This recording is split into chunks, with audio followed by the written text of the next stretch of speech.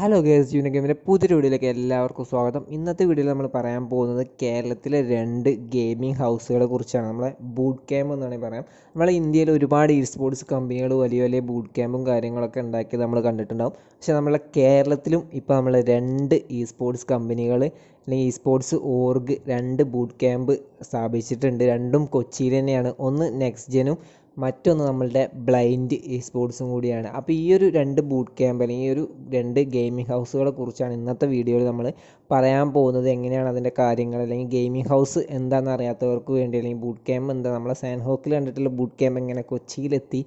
ഈ ഒരു കാര്യങ്ങൾ ഈ ബൂട്ട് ക്യാമ്പ് അല്ലെങ്കിൽ ഗെയിമിംഗ് ഹൗസ് കുറച്ച് കാര്യങ്ങളൊക്കെയാണ് ഈ ഒരു വീഡിയോയിൽ ഇൻക്ലൂഡ് ചെയ്തിട്ടുള്ളത്. അപ്പോൾ വീഡിയോ ഫുള്ളായിട്ട് കാണാൻ ശ്രമിക്കുക. നിങ്ങൾ ആദ്യമായിട്ട് എന്റെ ചാനലാണ് ജസ്റ്റ് ഒന്ന് സബ്സ്ക്രൈബ് ചെയ്യുക. തൊട്ടടുത്താണ് ബെൽ ബട്ടൺ കൂടി പ്രസ് ചെയ്താൽ നിങ്ങൾക്ക് എന്റെ വീഡിയോസ് നോട്ടിഫിക്കേഷനായി ലഭിക്കുന്നതാണ്. അപ്പോൾ ഫസ്റ്റ് ഓഫ് ഓൾ നമ്മൾ പറയാൻ പോകുന്നത് എന്താണ് ഗെയിമിംഗ് ഹൗസ് എന്നുള്ളതാണ്. ഗെയിമിംഗ് ഹൗസ് എന്ന് പറഞ്ഞാൽ ഒരു ടീമിന് അല്ലെങ്കിൽ ഒരു ഇ സ്പോർട്സ് ടീമിന് അവരുടെ മെമ്പേഴ്സിനെയും വെച്ചിട്ട് അവർക്ക് സ്ട്രീം ചെയ്യാനും അവർക്ക് കോമ്പറ്റേറ്റീവിൽ മാച്ചസ് കളിക്കാനുമുള്ളൊരു റൂം അല്ലെങ്കിൽ ഒരു ഹൗസ് അവർക്ക് കംഫർട്ടബിൾ ആയിട്ടുള്ള രീതിയിൽ കളിക്കാൻ പറ്റുന്ന ഒരു ഹൗസ് സെറ്റ് ചെയ്യുക എന്നുള്ളതാണ് ഗെയിമിംഗ് ഹൗസ് എന്നുള്ളത് കൊണ്ട് ഉദ്ദേശിക്കുന്നത്. നമുക്ക് പറയാം ഒരുപാട് ഈ സ്പോർട്സ് ടീം അല്ലെങ്കിൽ ഈ സ്പോർട്സ് പ്ലെയേഴ്സിന് ചിലപ്പോൾ നെറ്റ്വർക്ക് ഇഷ്യൂ ഉള്ളവർ ഉണ്ടാവാം അല്ലെങ്കിൽ ഡിവൈസ് ഇഷ്യൂ ഉള്ളവർ ഉണ്ടാവും. ചിലവർക്ക് പി സി ഇല്ലാത്തവരുണ്ടാവും സ്ട്രീം ചെയ്യാൻ പറ്റാത്തവരുണ്ടാവും.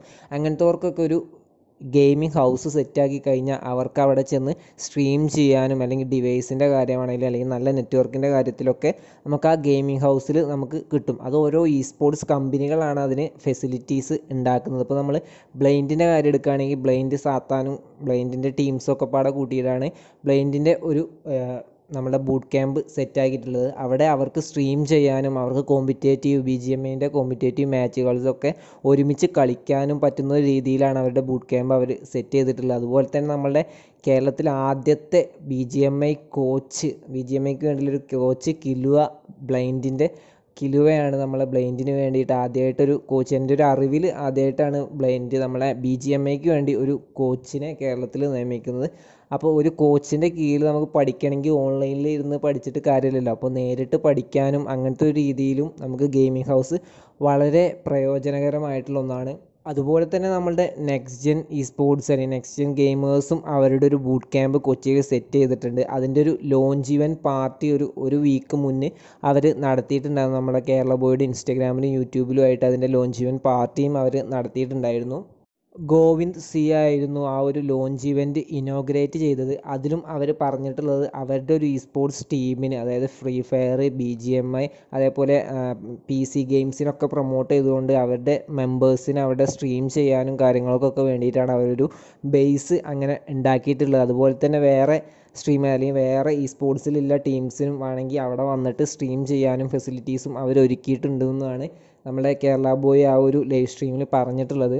അപ്പോൾ നമുക്ക് വീട്ടിൽ കിട്ടുന്നതിലേറെ കംഫേർട്ട് നമുക്ക് ആ ഒരു ഗെയിമിംഗ് ഹൗസിൽ കിട്ടും. കാരണം എല്ലാവരും ഗെയിം കളിക്കുന്നവരായിരിക്കും. നമ്മൾ ഫുള്ളി അതിലോട് കോൺസെൻട്രേറ്റ് ചെയ്ത് കളിക്കുന്ന ഒരു രീതിയായിരിക്കും. അതുപോലെ തന്നെ നമ്മുടെ ഹെൽത്തും നമ്മൾ നല്ല രീതിയിൽ അവിടെ നിന്ന് നോക്കും. വീട്ടിൽ നമ്മൾ എന്താ ചെയ്യുക? ജസ്റ്റ് എണീക്കുക ഗെയിം കളിക്കുക ഉറങ്ങുക ഫുഡ് കഴിക്കുക ആ ഒരു രീതി. പക്ഷേ അവിടെ നമ്മൾ എല്ലാവരും കൂടി നിൽക്കുമ്പോൾ നമ്മൾ എക്സസൈസും കാര്യങ്ങളും അല്ലെങ്കിൽ ഹെൽത്തിന് നല്ല രീതിയിൽ പ്രയോറിറ്റി കൊടുത്തിട്ട് ഫുഡും കാര്യങ്ങളൊക്കെ നല്ല രീതിയിൽ പ്രയോറിറ്റി കൊടുത്തിട്ടുള്ളൊരു സെറ്റപ്പ് ആയിരിക്കും ഒരു ഗെയിമിംഗ് ഹൗസിൽ ഉണ്ടാവുക. നമുക്കറിയാം ബ്ലൈൻഡിന്റെ ഗെയിമിംഗ് ഹൗസ് ആണെങ്കിൽ ഒരു കുക്ക് ഉണ്ട്. അതേപോലെ അവർ രാവിലെ എക്സസൈസ് ചെയ്യലുണ്ട്. അങ്ങനത്തെ ഹെൽത്തി എല്ലാം സെറ്റാക്കിയിട്ടാണ് അവർ കളിക്കുന്നത്.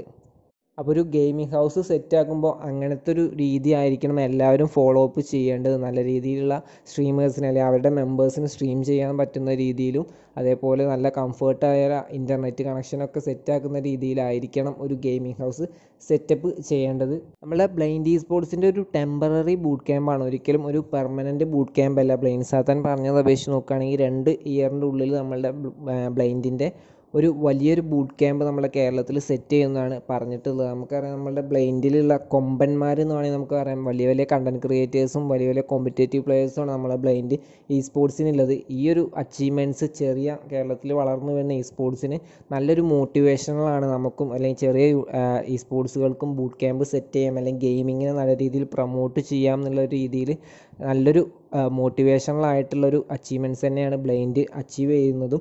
അതുപോലെ തന്നെ നെക്സ്റ്റ് ജെനും നെക്സ്റ്റ് ജെനും ഒരുപാട് പേർക്ക് നല്ല രീതിയിലുള്ള അവസരങ്ങൾ ഒരുക്കുന്നുണ്ട്. ഫ്രീ ഫയർ ആണെങ്കിലും ബി ജി എം ഐ ആണെങ്കിലും നല്ല രീതിയിലുള്ളൊരു കെയറിങ് ആ ഒരു പ്ലെയേഴ്സിന് കൊടുക്കുന്നുണ്ട്. അപ്പോൾ ഇനിയും നല്ല നല്ല ഗെയിമിംഗ് ഹൗസുകൾ കേരളത്തിൽ വളർന്നു വരട്ടെ. അല്ലെങ്കിൽ ഈ സ്പോർട്സ് നല്ല രീതിയിൽ വളരാൻ നമ്മൾ തന്നെ പ്രയത്നിക്കണം അല്ലാതെ നമ്മൾ വെറുതെ വീട്ടിലിരുന്ന് കഴിഞ്ഞാൽ ഒന്നും നടക്കില്ല. അപ്പോൾ നല്ല രീതിയിൽ വർക്ക് ചെയ്യുന്നവർക്ക് നല്ല രീതിയിൽ സക്സസ് ഉണ്ടാവും എന്ന് തെളിയിച്ചിരിക്കുകയാണ് ഈ ബ്ലൈൻഡ് ഇ സ്പോർട്സിന് അതേപോലെ നമ്മളെ നെക്സ്റ്റ് ജെൻ ഗെയിമേഴ്സ് അല്ലെങ്കിൽ നെക്സ്റ്റ് ജെൻ ഇ സ്പോർട്സും അപ്പോൾ ഈ കാര്യങ്ങളൊക്കെ കുറച്ച് പേർക്ക് അറിയുന്നുണ്ടാവും. അറിയാത്തവർക്ക് വേണ്ടിയിട്ടാണ് ഞാൻ ഈ ഒരു വീഡിയോ ചെയ്തിട്ടുള്ളത്. അപ്പോൾ ഈ സ്പോർട്സിൽ വലിയ വലിയ നേട്ടങ്ങൾ കൈവരിക്കാൻ ആഗ്രഹിക്കുന്നവർ അല്ലെങ്കിൽ നല്ല രീതിയിൽ ഗ്രൈൻഡ് ചെയ്യുന്നവർ നല്ലൊരു ടീമിനെ സെറ്റാക്കി നല്ല രീതിയിൽ ഗ്രൈൻഡ് ചെയ്യുക ടൂർണമെന്റ്സിൽ പാർട്ടിസിപ്പേറ്റ് ചെയ്യുക ഒരുപാട് ഫ്രീ ടൂർണമെന്റ്സൊക്കെ നമ്മളെ കേരളത്തിൽ ഇപ്പോൾ നടക്കുന്നുണ്ട്. നല്ല രീതിയിലുള്ള പ്രൈസ് പൂളും കാര്യങ്ങളൊക്കെ ഉള്ള. അതിലൊക്കെ പാർട്ടിസിപ്പേറ്റ് ചെയ്ത് നല്ലൊരു ടീമിനെ സെറ്റാക്കി നിങ്ങൾ പാർട്ടിസിപ്പേറ്റ് ചെയ്ത് വിൻ ചെയ്യാനായിട്ട് ശ്രമിക്കുക. ഒരു കളി തോറ്റെന്ന് വിചാരിച്ച് തളരരുത്. വീണ്ടും ഗ്രൈൻഡ് ചെയ്ത് ഗ്രൈൻഡ് ചെയ്ത് നിങ്ങൾ മുന്നോട്ട് വരാനായിട്ട് ശ്രമിക്കുക. നിങ്ങൾക്കും ഒരു ദിവസം ഉണ്ടാകും അപ്പം സ്കില്ലുള്ള